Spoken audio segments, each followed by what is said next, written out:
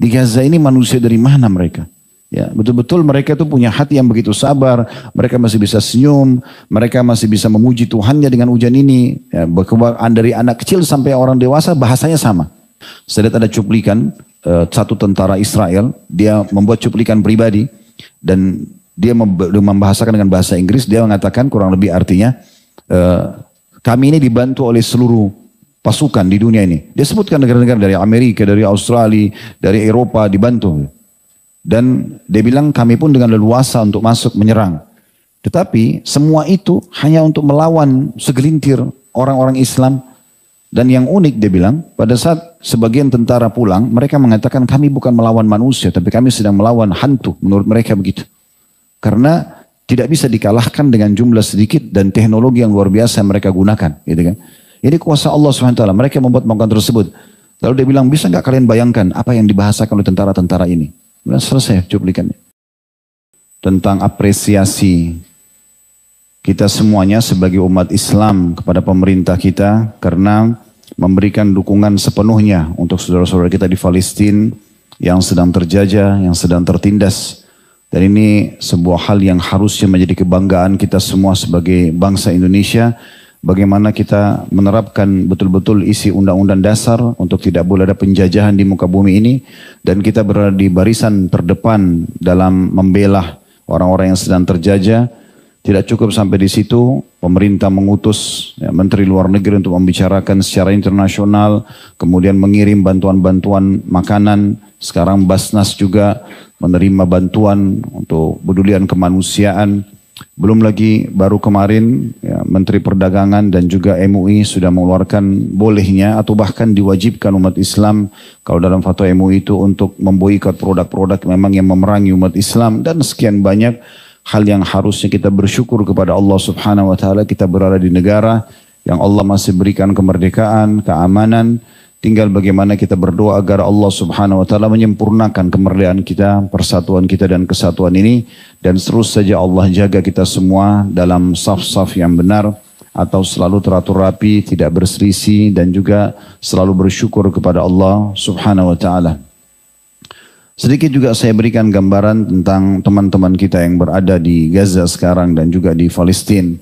Mungkin di mata sebagian orang, mereka itu orang-orang yang sedang tertindas. Apalagi orang yang jauh dari ilmu agama akan melihat kasihan misalnya. Dan kesian ini membuat mereka hanya menganggap lemahnya orang-orang Palestina atau mungkin tertindasnya hanya dari sisi itu saja kepedulian kemanusiaan. Jadi saya perlu beri gambaran bahwasanya secara teori agama justru sebenarnya kita ini semua harus cemburu dengan mereka. Karena Allah subhanahu wa ta'ala membukakan bagi mereka pintu-pintu kemuliaan yang luar biasa. Bab jihad itu Allah hanya buka kepada orang-orang yang memang menyukainya. Kalau orang tidak menyukai jenis ibadah tertentu, maka Allah tidak buka buat dia. Contoh misal, antum tidak suka dengan sholat malam, ingin lebih suka tidur daripada sholat malam. Allah buat antum tidur. Tidak dibukain pintu sholat malam itu. Antum orangnya pelit, tidak suka bersedekah. Allah tutup pintu-pintu sedekah itu dari antum. Antum tidak suka baca Quran. Allah tutup, tidak ada peluang antum untuk baca Quran berzikir, apa saja, haji dan umrah. Berapa banyak orang yang sudah mampu secara finansial, secara fisik, masih muda, bisa haji, bisa umrah, tidak mau pergi. Allah tutup karena memang hatinya tidak mau. Dan begitu juga dengan bab jihad. Ditutupnya oleh Allah subhanahu wa ta'ala dari banyak kaum muslimin karena memang mungkin mereka tidak menginginkan itu. Maka Allah subhanahu wa ta'ala bukakan buat mereka di depan mata mereka. Mungkin secara kasat mata mereka dibombardir, badan badannya ada yang hancur, bangunannya hancur. Tapi ini subhanallah jalan pintas ke surga secara teori agama. Bukankah kita semua akan meninggal ikhwat dan khawat sekalian? Kapan dan di mana pun. Kalau ajal kita datang di satu tempat dan di waktu yang sudah Allah tentukan atau ajal, kita akan meninggal dalam keadaan apa pun. Apakah lagi berperang, apakah lagi makan, apakah lagi tidur, apalagi ada ngobrol, apa saja. Maka di detik itu, di tempat itu kita akan meninggal dunia. Beruntunglah yang Allah subhanahu wa ta'ala berikan mati terbaik. Hitungan detik hanya kena satu peluru, satu bom meninggal, selesai. Semua dunia ini selesai dengan dia. Karena kata Nabi SAW orang yang mati syahid diampuni semua dosanya kecuali utangnya saja. Itu pun kalau dia punya utang. Gitu kan? Dan ada pendapat ulama yang mengatakan kalau dia meninggal mati syahidnya bukan di darat tapi di lautan, diampuni semua termasuk utangnya. Jadi karena luar biasa kedudukan orang-orang ini. Jadi Allah pilih mereka. Yang masih kecil pun Allah subhanahu wa ta'ala muliakan dengan itu. Walaupun umat Islam dari satu sisi tidak boleh tinggal diam tentunya. Tidak boleh tinggal diam. Ya.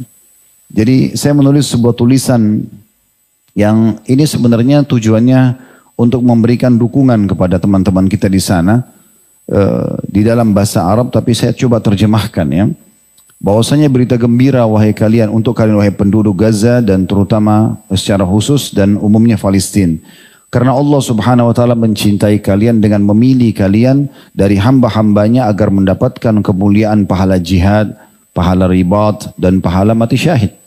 Tidak semua Allah kasih. Maka Allah berikan kepada mereka. Bahkan ada yang satu keluarga semua. Sekaligus mati syahid. Ini luar biasa. Jarang sekali terjadi. Biasanya Allah pilih dari satu keluarga satu orang, dua orang. Dari masa Nabi SAW begitu. Ada sahabat yang meninggal, istri anaknya masih hidup. Ada sahabat yang meninggal, tapi uh, saudara-saudaranya masih hidup. Orang tuanya masih hidup. Tapi ini satu keluarga dalam hitungan detik meninggal, semua mati syahid. Dan jelas dibunuh oleh orang-orang non-muslim secara teori agama mati syahid. Kan gitu. Kemudian juga berita gembira bagi teman-teman kita di Gaza dan Palestina karena hadiah keimanan yang telah diberikan oleh Allah Subhanahu wa taala kepada mereka sampai mereka telah sampai pada tingkat keimanan tertinggi setelah para nabi-nabi dengan ujian ini. Karena kan kata Nabi SAW, orang yang paling berat ujiannya adalah para nabi-nabi. Kemudian datang ujian tersebut sesuai dengan kadar keimanan yang paling dekat dengan nabi-nabi. Lalu terus saja ujian itu lebih ringan, lebih ringan, lebih ringan tergantung dengan kadar iman seseorang. Ini berat. Rumah hancur, harta hilang, keluarga meninggal, mungkin badannya ada yang cacat.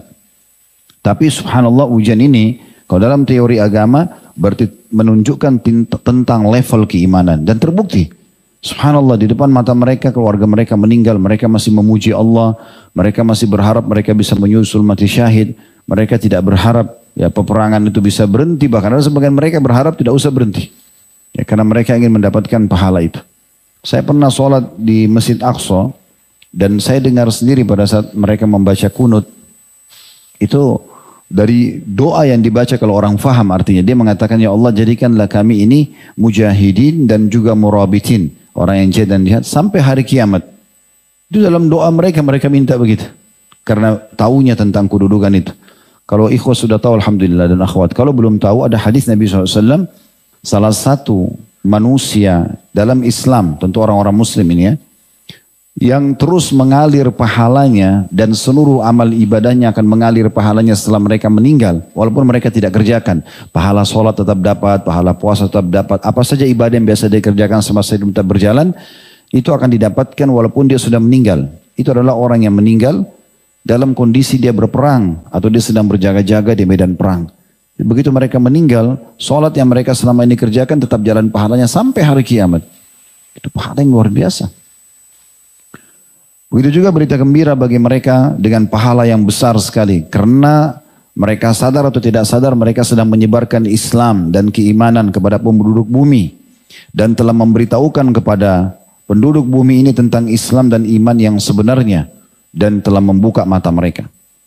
Sebagian media memang banyak sekali yang diblok, ditutup sehingga tidak tersebar maksimal. Tapi subhanallah Allah Maha Kuasa Allah disebarluaskan. Tapi ada sebagian atau cukup banyak cuplikan di mana sekarang ini uh, yang menjadi bestseller di Eropa dan di Amerika justru Al-Quran.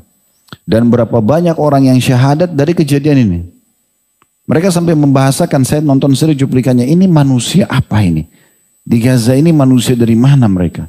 Ya, betul-betul mereka itu punya hati yang begitu sabar, mereka masih bisa senyum, mereka masih bisa memuji Tuhannya dengan hujan ini. Ya, dari anak kecil sampai orang dewasa bahasanya sama. Hanya mereka jadi penasaran apa sebabnya iman mereka seperti ini. Luar biasa iman baja. Mereka mencari tahu rujukan mereka Al-Quran baru mulai dibaca. Saya lihat satu persatu cuplikan-cuplikan itu. Ya mungkin tidak semua media mengangkatnya, tapi mereka membahasakan orang-orang barat ini, oh ternyata buku ini ya. Ada yang mengatakan saya baru baca Quran sekali saja, saya sudah tahu kenapa iman mereka sekuat itu.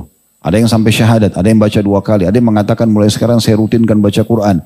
Ada yang sengaja mengatakan duduk dengan Al-Quran, apa ayat pun yang dia baca, ayat apa pun yang dia baca, dia langsung searching di Google tentang masalah ilmu pengetahuannya, tentang uh, buminya, tentang segala macam. Akhirnya dia syahadat gara-gara itu. Dan sekian banyak. Itu semua hikmah luar biasa. Mungkin tidak semua orang faham masalah itu. Jadi dengan kejadian ini justru Islam jadi tersebar. Ya, jadi banyak yang memahami dan tentu teman-teman kita di sana yang panen pahalanya.